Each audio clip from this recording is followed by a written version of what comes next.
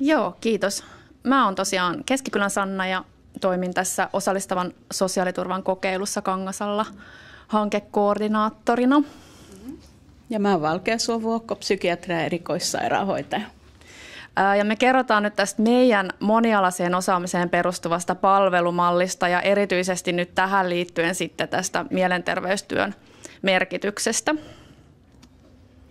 Ja ihan lyhyesti taustaa, eli Kangasala on tuolla reilun 30 000 asukkaan kaupunki Pirkanmaalla. Siinä aika Tampereen kyljessä joku vajaa parisenkymmentä kilometriä. Ja työikäisten sosiaalipalveluissa työskentelee Kangasalla kaksi sosiaalityöntekijää, kolme sosiaaliohjaajaa, joista sitten yksi tekee puolet työajasta asumisneuvontaa ja toinen puolet työajasta tähän hankkeeseen sosiaalisen kuntoutuksen koordinointityötä. Ja tiimiä johtaa sosiaalityön johtaja. Ja sitten tämän kokeilun mahdollistamana resurssina meillä on siis vuokko, puolet, puolella työajasta ja sitten nyt eilisestä alkaen myös päihdetyöntekijä sataprosenttisella työajalla. Ja sitten tosiaan tämä sosiaalisen kuntoutuksen koordinaattori 50 prosenttisena ja minä sitten täydellä työajalla. Joo, ja sitten ehkä tuosta tiimistä vielä voi sellaista sanoa, kun tuossa just puhuttiin ennen tätä aloitusta, että, että meillä on oikeasti aika semmoinen niin kuin kokeiluhalunen, innostunut ja semmoinen muutokseen tähtäävä tämä porukka, että oikeasti halutaan tehdä jotain uudenlaista ja uudella tavalla. Ja ei ehkä halu, tai ei ole ehkä se asetelma sellainen, että katsotaan niin sinne, sinne taaksepäin, vaan oikeasti halutaan tähdätä, tähdätä niin kuin korkealle. Ja koska tätä Osallistavan sosiaaliturvan tässä kokeilussa oli ajatuksena se, että kehitetään niin paikallisiin tarpeisiin jotain uudenlaista palvelumallia tai tekemisen tapaa, niin meillä sitten lähdettiin siitä ajatuksesta, että, että no mietitään näitä paikallisia haasteita ja ne paikalliset haasteet aika vahvasti näyttäytyy sen kautta, että niitä vaihtoehtoja on tosi vähän saatavilla tai liian vähän ja, ja se estää sitä sosiaalityön toimintaa ja tekemistä asiakkaiden kanssa, koska vaikka siinä työssä onnistutaan, niin sitten voi olla, että, on niitä, että ovet ei aukeakaan asiakkaalle ehkä johonkin toiseen palveluun. Ja sitten tavallaan kaikkien pitäisi ehkä niiden palvelutarpeiden kanssa osua johonkin yhteen muottiin. Ja palvelut on sektoroituneita ja ne on sitten asiakkaankin näkökulmasta vaikeasti tavoitettavissa. Ja sitten ne keskeisimmät asiat, mitkä haastaa asiakastyötä, niin on päihde- ja mielenterveysongelmat. Ja etenkin päihdeongelma, niin se sulkee niitä mahdollisuuksia. Ja, ja sitten tulee niitä tilanteita, jos oikeasti on seinä vastassa. Vaikka asiakas itse olisikin sit motivoitunut siihen päihteistä eroon pääsemiseen. Ja mielenterveyskysymyksissä on sitten taas se, että jos palvelut on sen lähetteen varassa ja, ja tavallaan tarvitaan se arviointi siitä, että, että sä oot niin kuin oikeutettu sinne palveluun pääsemiseen, niin, niin aina niitä ovia ei sit niissäkään kohdissa aukea. Tai sitten jos aukeaa, niin sä joudut jonottamaan tosi pitkään sinne palveluun pääsyä. Ja tosiaan se, että, että vaikka siinä omassa palvelussa tehdään hyvää työtä ja päästään hyvään yhteistyöhön, niin sitten se polku asiakkaan polku ei sitten aina edisty. Ja tässä kohtaa sitten mietittiin sitä, että, että tosiaan sille monialaiselle osaamiselle asiakkaiden tilanteen selvittämisessä on tarvetta ja sitten sille, että, että olisi just niitä keinoja tukea asiakasta silloin, kun hän odottaa sitä oikeaan palveluun pääsyä. No joo, sitten ratkaisuna meillä on tämä monialainen palvelumalli työikäisten sosiaalipalveluissa. Eli me halutaan paikalliset haasteet ratkaista sillä, että me kehitetään tätä monialasta, monialaiseen osaamiseen ja erityisosaamiseen perustuvaa palvelumallia. Ja omalla tavallaan tämä nyt varmaan on sitten tämmöinen pienempi pienen pienen tiimin sote-integraatio. Ja tosiaan niin tarve on sille päihde- ja mielenterveystyön osaamiselle, mutta my- myös sitten sille, että oikea-aikaisesti vastataan asiakkaan tarpeisiin. Ja me mietittiin tätä, että okei, että me oltaisiin voitu lähteä niin kuin kouluttamaan työntekijöitä ja vahvistamaan sitä kautta osaamista ja menetelmällisyyttä. Mutta sitten me päädyttiin siihen, että jos me oikeasti nyt rakennetaan jotain tulevaisuuden palvelua, niin miksi me ei tuoda sitä osaamista siihen tiimiin. Ja se mielenterveys- ja päihdeosaaminen siinä meidän omassa tiimissä, niin se vahvistaa sosiaalityön tietoa ja se auttaa siinä koko, kokonaiskuvan rakentamisessa asiakkaan tilanteesta. Ja toisaalta se on myös tapa tuoda sisältöä sille palvelulle, mikä meillä on yksi, yksi sellainen osa tätä kehittämistä, että, että me pyrittäisiin niin tekemään näkyväksi sitä, sitä palvelua ja viestimään siitä palvelusta, niin nyt meillä on jotain sisältöä, millä me pystytään vielä vahvemmin sitä tekemään niin asiakkaiden suuntaan. Ja totta kai tämä monialaisuus, niin se ei ole vaan tässä tiimissä, vaan se on myös sitä vahvaa verkostotyötä ulospäin. Sitä, mitä nyt siis jo ihan tyypillisestikin on, on, on siis tehty, että et rakennetaan sitä polkua ja tehdään verkostoyhteistyötä.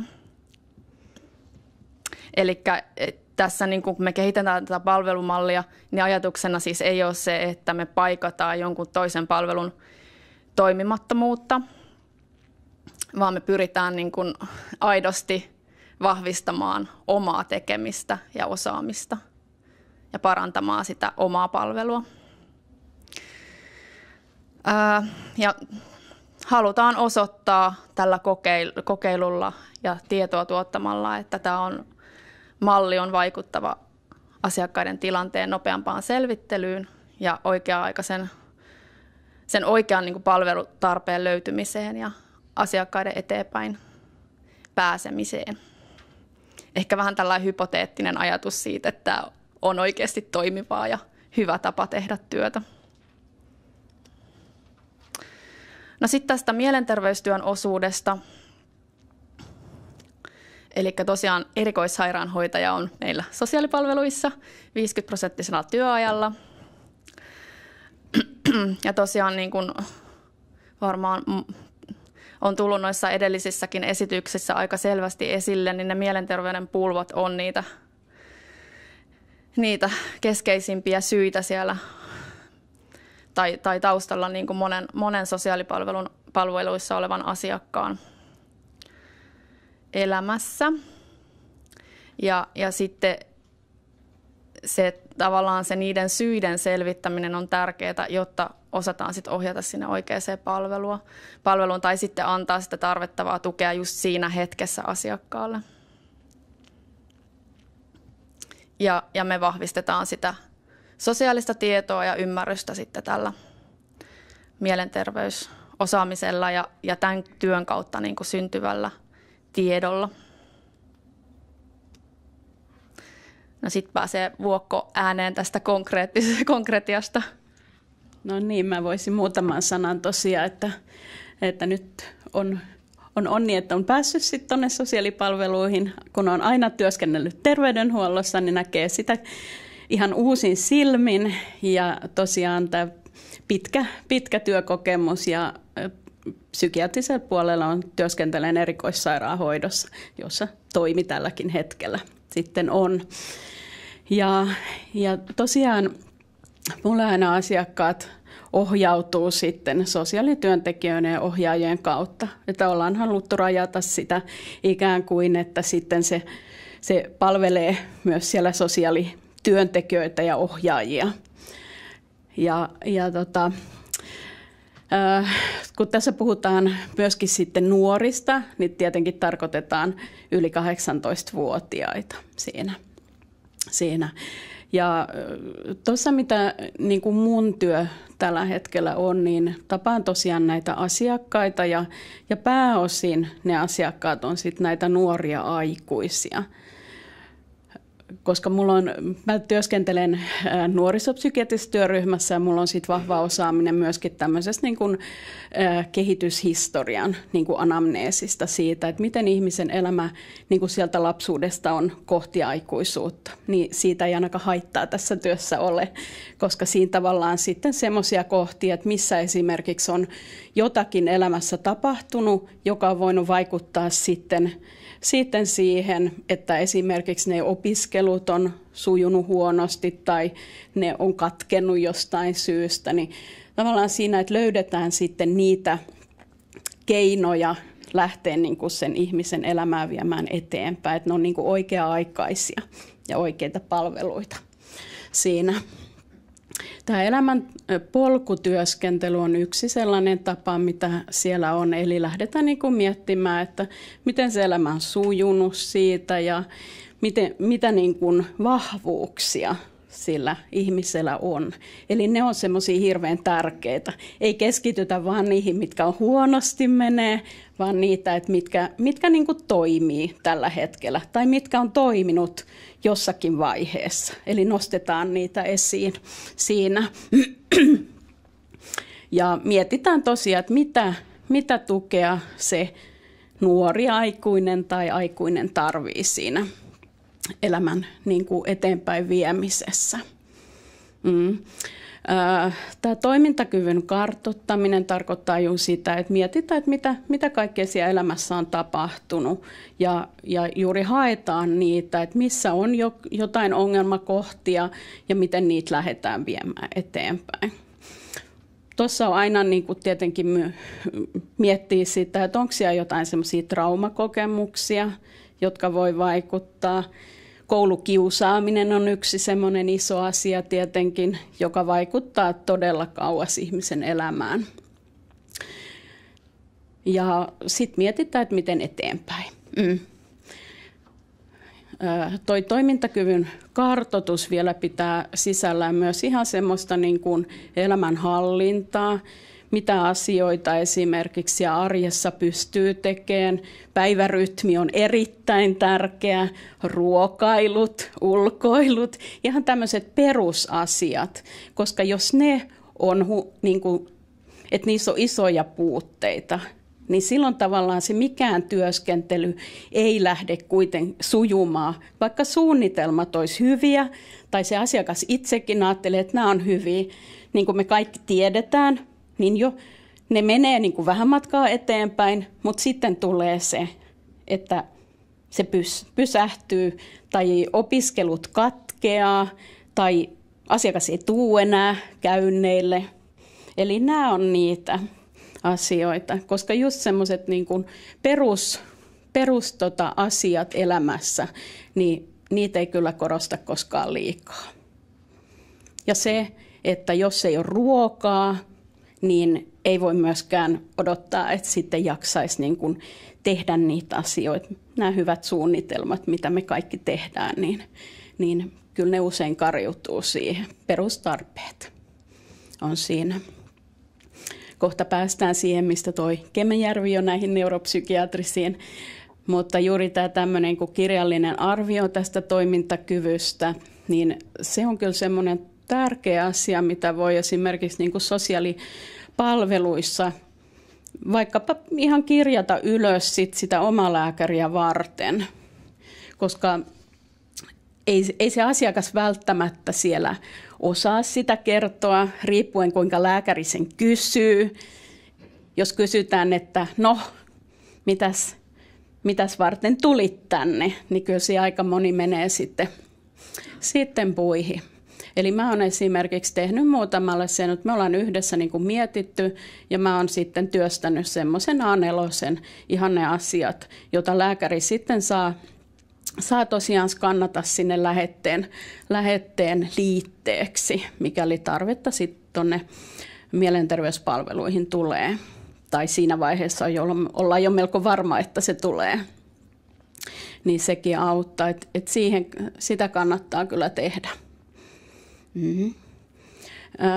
Sitten mun työtä on myöskin tämmöiset niin tukikäynnit, eli sosiaalityöntekijä tai saattaa tulla siihen, sanoa, että nyt mulla on tämmöinen asiakas, ja hän, hänen elämäntilanne kuulostaa hyvin, hyvin haastavalta. Hän on esimerkiksi kertonut, että hän ei enää jaksa, niin sitten aika pian, joskus ihan sama on voinut mennä mukaan siihen käynnille tai sitten on varannut kyllä ihan seuraavalle päivälle tai lähipäiville, että, että teen myöskin tämmöisiä niin kuin, ää, itsetuhoisuusarvioita siinä, siinä, että mikä, onko semmoinen riski ja, ja tietenkin joskus ne on, on niin kuin tosi, tosi hankali se ihmisen elämäntilanne, että se vaatii semmoista nopeaa puuttumista.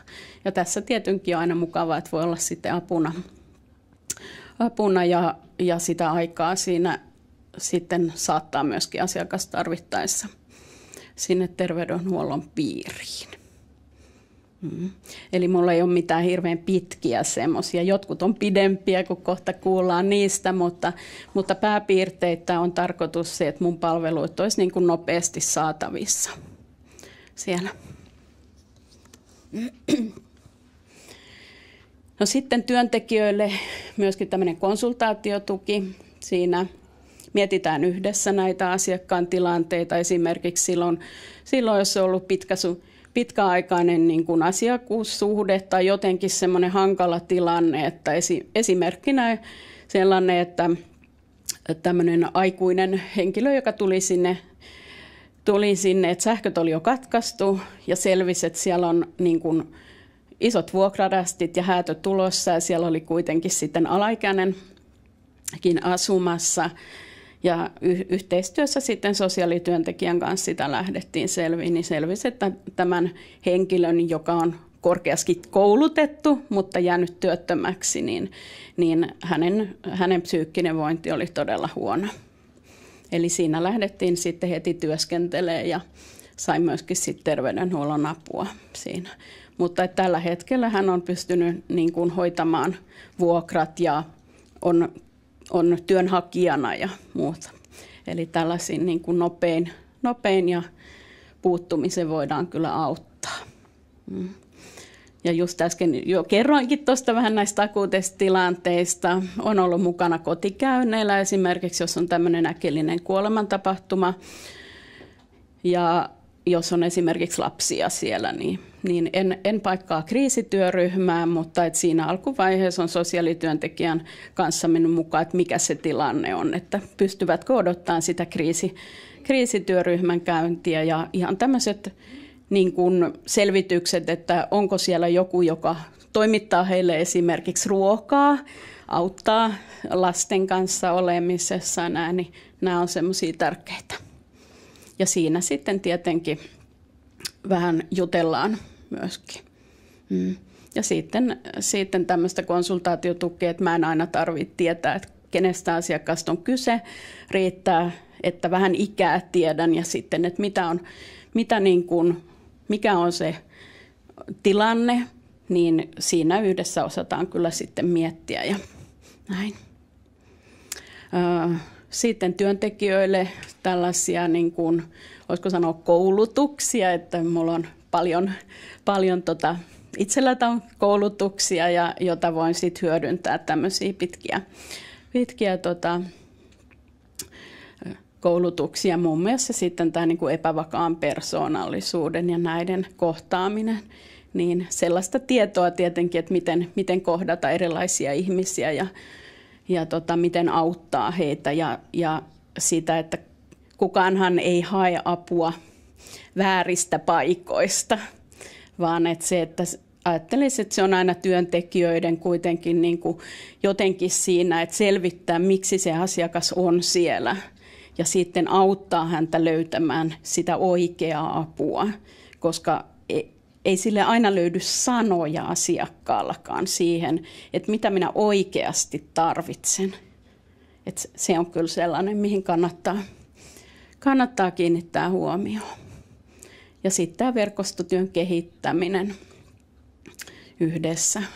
Yhdessä sitten siltä tiedon pohjalta, mitä asiakkailtakin tulee. Sitten näihin vaikutuksiin. Mm-hmm. Joo, meilläkin on tässä, tässä tota asiakkaan. Meillä on kaksi tämmöistä esimerkkiä. Nämä on siis asiakkaiden luvalla. He ovat, mä oon käynyt heidän kanssa läpi nämä ja he on niin hyväksynyt ja he, heidän sanat oli tänne molempia, että toivottavasti näistä on jotain apua ja kerroin, että kyllä on. Mä voisin, mä avaan vähän, koska tässä on nyt paljon asiaa. Eli tuossa toukokuun lopulla tuli, tuli tota, tämä nuori nainen otti yhteyttä, että hän oli käynyt yksityisen lääkärillä ja hän oli ohjannut soittamaan sitten tänne perusterveydenhuollon mielenterveys- ja päihdeyksikköön. No hän olikin soittanut sinne ja siellä oli sitten sanottu, että tämä kuulostaa siltä, että ehkä sun olisi toi sosiaalipalvelut sitten parempi vaihtoehto. No niinpä hän soitti ja tapasin häntä sitten sosiaalityöntekijän kanssa ja sovittiin, että hän tulee tähän hankeasiakkaaksi. Ja se tulosyy oli, eli hän oli pitkäkestoisia fyysisiä vaivoja. Hän on siis ammattikoulun käynyt, valmistunut, mutta työssä oli hetken aikaa, mutta ei pystynyt sit sitä työtä tekemään. Hän koki, että hän uupuu ja sitten hänellä oli näitä fyysisiä vaivoja, jalkavaivoja siinä. No, siinä jo ensi tapaamisella tuli jotenkin semmoinen tunne, että, että, tota, että tässä taustalla voi olla jotain ihan muutakin syytä. syytä ja siinä sitten lähdin, kun työskentelin hänen kanssa sitten tiiviisti, niin lähden selvittelemään ihan, että miten hänen niin kuin peruskoulu on mennyt, että miten hänen niin kuin se historia. Niin hän toi esiin heti siinä, että peruskoulu on, hän suoritti sen ihan, mutta että hän tarvitsi vahvaa tukea äidiltä. Eli hän ei ymmärtänyt kaikkea. Ammattikoulu sujui samoin, hän suoritti kolme vuotta. Ja hän kertoo, että hän esimerkiksi siellä kysyi opettajalta, että hän varmisteli siis koko ajan – hän keitti perunoita, niin hän kysyi, että teenkö mä oikein. Ja hän sanoi, että hän, niin kun, se vaikutti häneen tietenkin siinä, että hän alkoi epäileen, että hän on tyhmä. Hänen äiti, hyvää tarkoittain, auttoi tosi paljon, teki vähän, teki vähän tota peruskoulussa näitä tehtäviäkin puolesta. Hän on hyvin kiltti, tunnollinen. Tämä nuori nainen ei herättänyt missään semmoista. Jos hän olisi ulospäin ollut jotenkin aggressiivinen tai käytöshäiriö, niin hän olisi saanut apua tähän todelliseen pulmaan paljon aikaisemmin. No, sitten tosiaan lähdettiin miettimään näitä, mitä on. Hän pääsi tuonne fysioterapiaan sitten ja hän kävi ravitsemusterapeutilla ja kun hän on erityisruokavaliossa siinä siinä. No mitään semmoista niin kuin, ö, masennus, masennusta ei siinä esiin, mutta että semmoista niin kuin ahdistuneisuutta, eli tämä epävarmuus toi hänelle ja pelko siitä, miten hän selviää. Hän kertoi jotain semmoista asiaa, mitä hän ei ollut koskaan kehdannut kellekään kertoa, mutta se ei ollut mikään semmoinen, että se vaati mitään toimenpidettä. Hän vaan halusi sen kertoa, joka on hänen mieltä painanut paljon. Hän on hyvin sitoutunut. Hän halusi kuntouttavaan työtoimintaan, kun hänen ystävänsäkin oli siellä. Hän aloitti siellä kesällä. Hän jatkaa siellä vielä edelleen, eikä ole kertaakaan ollut pois sieltä. Ja hän halusi nimenomaan sen takiakin, että saada niin kuin päivään jotain sisältöä. Hänellä ei ole mitään ongelmia niin kuin päivärytmissä, ei mitään semmoisia elämän niin kuin hallinnan ongelmia, joka olisi niin kuin estänyt häneltä esimerkiksi työllistymistä. No, hän asui vanhempiensa luona. Hän oli yhdessä vaiheessa asunut omillaan, mutta hän palasi kotiin, koska se kävi liian raskaaksi. No mitä sieltä sitten, kun käytiin näitä läpi, niin ensimmäisenä tuli mieleen juuri nämä isot oppimisen ongelmat. Hän kertoi esimerkiksi, että siellä kuntouttavassa työtoiminnassa sielläkään hän ei esimerkiksi ymmärrä kaikkia ohjeita, mitä sanotaan suullisesti tai mitä pitäisi lukea. No se herätti nyt vielä enemmän. No sitten mä mietin, että mistä, missä sitten näitä niin tutkimuksia, psykologin tutkimuksia tähän oppimisvaikeuksiin. Kangasalan siellä, siellä ei tämmöiselle aikuisikäiselle ollut mitään mahdollisuutta, eli työllisyyspalveluissa ei tällä hetkellä ole mahdollista siihen. Sitten muistin, että Taussissa on tämmöinen hanke meneillään, ja soitin sinne marraskuun puolessa välissä, ja se hanke oli loppumassa vuoden niin kuin, vaihteessa. Niin siellä on onnekkaasti, että siellä oli psykologilla mahdollisuus vielä ottaa. Hän pääsi tosi nopeasti sinne, ja siellä lausunnossa on muun muassa tietenkin nämä hyvät puolet, mitä hänellä on, mutta myöskin, että hänellä on erittäin suuret oppimisen ongelmat, jotka pitää huomioida jatko-opinnoissa ja ammatillisessa kuntoutuksessa. Eli se, mutta se oli hänelle semmoinen, kun hän sai selityksen, niin se oli hänelle valtavan merkittävä asia siinä. Eli hän niin kuin ei enää ajattele, että hän on tyhmä. Nyt hän tietää, että näillä kaikilla haasteilla, mitä hänellä on ollut, niin niillä on ollut niin kuin selitys siihen. Eli hän on niin kuin silmin nähden muuttunut siinä mielessä, että hän sitten rohkaistui, hän asuu tämän ystävänsä kanssa, he vuokras asunnon ja, ja tota, asuvat siellä ja jatkaa kuntouttavassa työtoiminnassa, mutta hänellä on suunnitelma sitten hakea opiskeluun.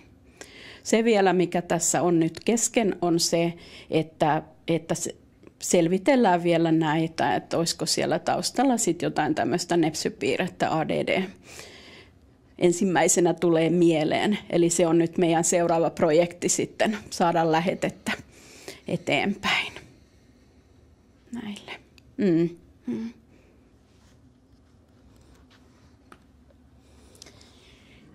No toinen, toinen tota, case on tämmöinen, hän on 27-vuotias nuori mies. Ei hänelläkään mitään. Hän on tosi kiltti, rauhallinen, ei ole ikinä aiheuttanut missään mitään. Eli hän on tota, koulu, koulu tota, että avohuollon sijoitus koulunkäynnin turvaamiseksi ei johdu siis hänestä, vaan siitä, että hänelle tuli 14-vuotiaana tämmöinen vakava somaattinen sairaus ja hän joutui olemaan sairaalassa kolme viikkoa ja, ja sitten tota, siinä tuli vähän takapakki. Pakkia, niin hän masentui sitten tämän, tämän tota, sairaalassa oloaikana tai sen jälkeen. Ja, ja hän oli sitten lyhyen tämmöisen hoitojakson sitten nuorisopsykiatrisella osastolla, jossa ensimmäisen kerran osaston lääkäri oli sitten epäillyt, että olisiko tässä jotain neuropsykiatrista. Mutta se jäi siihen. No, hän oli sitten lastensuojelun jälkihuollossa ja hän on ollut ihan tyytyväinen niihin, niihin palveluihin ja hän muutti sitten 18 vuotta täytettyään oman vuokra-asuntoon, jossa hän asuu siis edelleen. Ja hän aloitti ammattikoulun siinä heti peruskoulun jälkeen ja hän kävi sitä noin puolitoista vuotta, jolloin se keskeytyi. Ja hän ei oikein osaa muuta syytä sanoa keskeytymiseen kuin, että vapaus koitti, kun tuli 18-vuotiaaksi. No eihän mitään kauheita irrottelua ole tehnyt, tehnyt siinä. No sen jälkeen sitten, sitten siellä on ollut TE-palveluja, etsivää nuorisotyötä, nuorten suuntapajaa, pari, pari kertaa sitten tämmöisiä yrityksiä, että hän olisi mennyt tai kävikin lääkärillä, että masennuksen vuoksi, uniongelmia, erilaisia tämmöisiä, mutta, mutta ei ne sitten. Sitten siellä on pari kertaa vuodessa aina näitä kokeiltu, että kun tulee jostakin joku Kela-impulssi tai muu.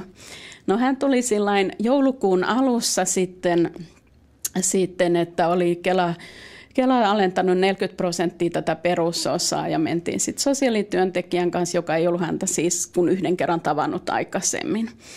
Niin hänelle kotiin ja, ja hänellä oli aina äiti ollut siellä aikaisemmin mukana turvana ehkäpä, mutta hän, hän oli heti valmis näihin tiiviimmin tapaamisiin, eli mä oon käynyt hänen luona kotona. Ja, ja ollaan mietitty näitä ja miten se on mennyt. Ja mä en ollut vielä lukenut näitä kaikkea, mitä oli aikaisemmin ollut. Ja sitten kysyin, että onko sinulla koskaan epäilty jotain neuropsykiatrista, niin hän sanoi, että on, että Aspergeri. Ja aivan valtavat. Me tehtiin sitten ihan tämmöinen tämmöinen lääkäriä varten, että mä haastattelin vanhempiakin sitten. Eli kuvattiin näitä, näitä tota, ö, haasteita, mitä on ollut, ollut tällä nuorella miehellä ihan sieltä lapsuudesta saakka. Ja me mennään nyt ensi viikolla sitten, on ensikäynti, ensimmäinen aika sitten tuolla, tuolla erikoissairaanhoidon puolella mielenterveyspalveluissa ja psykologi on mukana. Eli siellä on nyt suunnitelmana, että tehdään ihan nämä tutkimukset, jo, jota kautta hän sitten, sitten saa. Ja se on myös hänelle ollut se, että, että ikään kuin – niin kuin, nämä on nyt se, mitä hän on selittänyt, yrittänyt tuoda esiin monella paikalla, niin, niin ne on nyt lähtenyt jotenkin eteenpäin. Ja hän on jopa siinä mielessä, että hän on miettinyt, että jonain päivänä hän voisi olla sitten tämmöinen niin kuin vertaistukiryhmän vetäjä. Että hän haluaisi auttaa muita, joilla on samanlaisia. Ja hänellä on myöskin sitten näitä opin, opiskelusuunnitelmaa. Hän on hirveän lahjakas. Eli tämä on ollut, tämä on ollut tota, tosi hieno minun mielestä, tämä hänen niin kuin, tarinaansa ja miten hän on, hän on siis todella, että hän ei syytä ketään eikä hän ole katkera mistään, vaan hän niin kuin, näkee tästä elämän eteenpäin. Se on hienoa.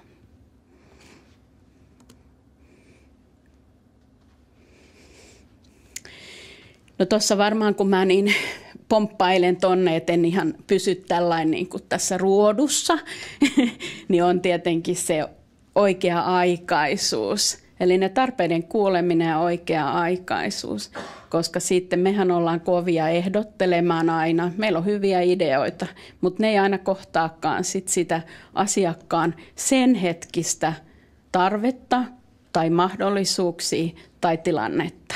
Niin sen takia, että pysähdytään kuuntelemaan, mitä, mikä on se asiakkaan oma toime. Ehdotuksia voi, koska ne auttaa kuitenkin asiakasta siinä niin kuin omassa ajatustyössä.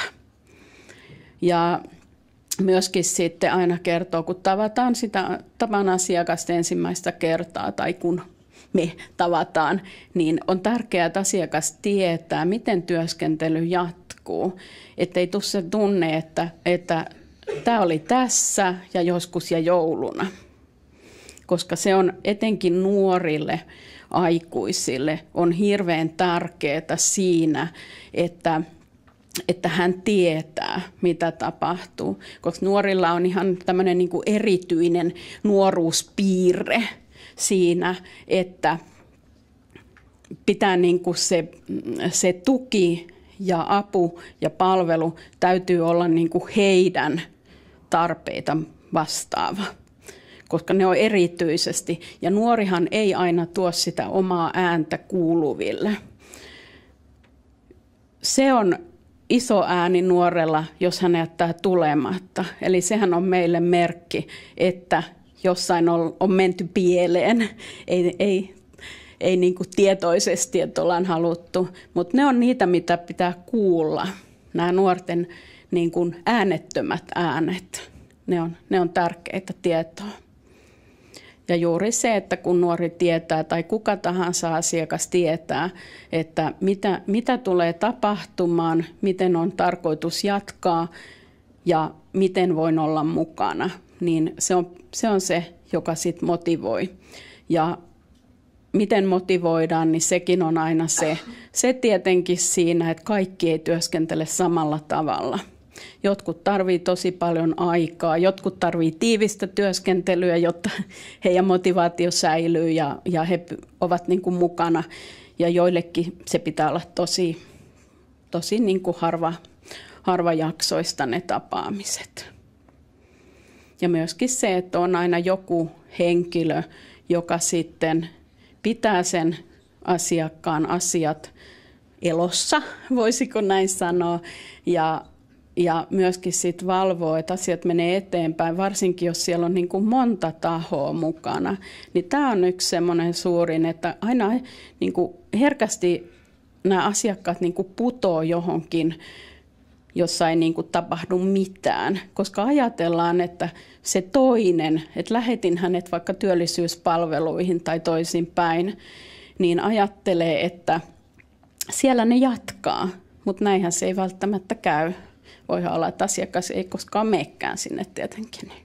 Mm. Mm.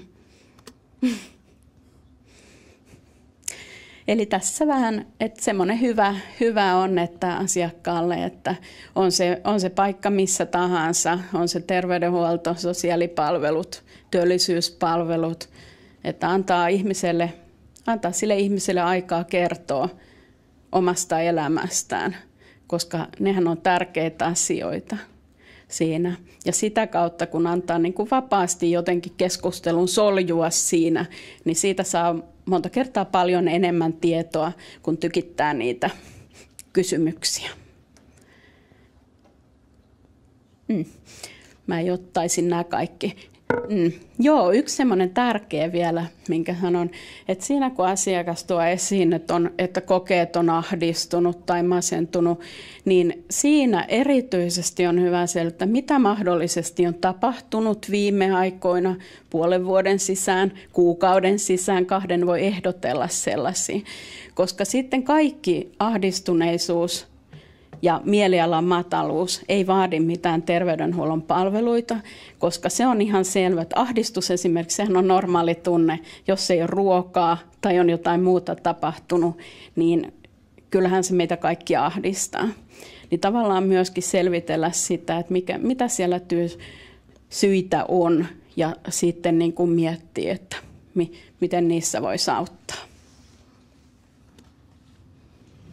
No joo, sitten klousataan vähän tätä, tätä meidän, että mikä tässä on se merkitys. Joo, mikä tässä on se merkitys? Varmaan aika hyvin noiden keissien kautta ehkä, ehkä sen huomaakin, äh, mutta tässä nyt vielä vähän tiivistettynä. Eli tämä osaaminen tässä omassa tiimissä, niin se tuo sujuvuutta tähän työhön, että asiakkaiden tarpeisiin voidaan tarttua siinä hetkessä.